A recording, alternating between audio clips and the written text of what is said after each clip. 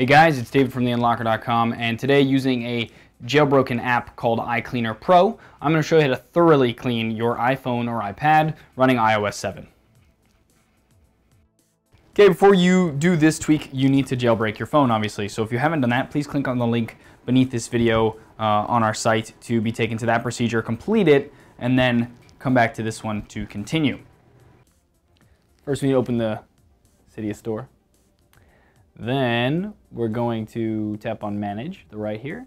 And then we need to basically add the repository that will then let us search through it to find the app that we want. So we're going to hit Edit, Add, and we're going to add the following. Exile 90 software.com slash Cydia slash beta slash and then hit add source.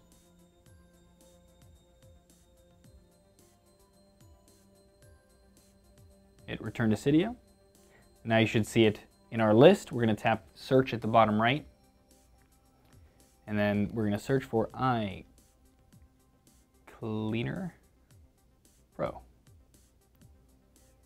Then tap install, tap confirm, and wait for that to download and install. Then hit return to Cydia when that's done. Hit home, this, and swipe over and you should see iCleaner Pro. Tap on that. Then you can use this to clean up the files on your phone. Uh, so message attachments uh, might be a little confusing, but basically what this does is it removes all of the attachments you ever get by MMS and iMessage. Um, if you tap Smart, it'll only delete the ones that don't currently appear in a message, so in other words, they're from a while ago, um, and then which is probably a good way to do it, Smart.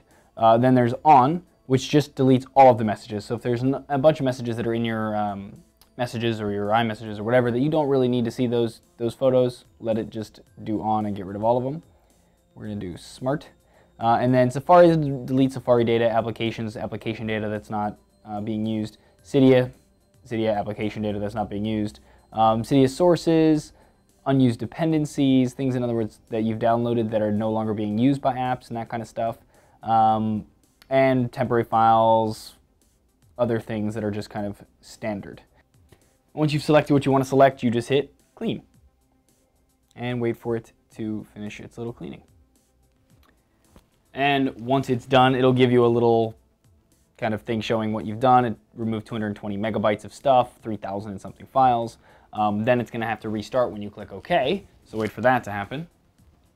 And once it reboots, it's cleaned up a lot of that stuff and you should have a little more free space uh, besides the normal stuff like cleaning apps and photos and all that fun stuff. Um, if you do want some more tips on uh, cleaning your storage up, you should check out our post uh, linked in this video that'll show you how to remove photos and back them up so you don't lose them before you remove them because that's usually the biggest culprit of space. But this app's pretty neat and helps get a little bit of extra stuff too. So enjoy.